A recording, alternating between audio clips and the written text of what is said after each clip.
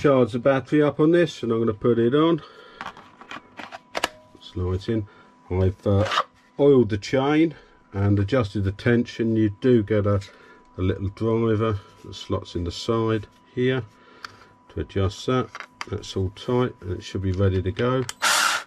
Yep and I'm going to try it on a couple of bits of wood. Let's just try it on a small piece first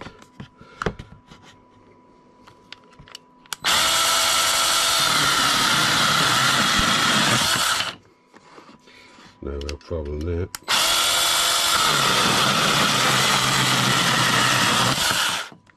Yeah it cuts through fairly well. Let's it a big piece.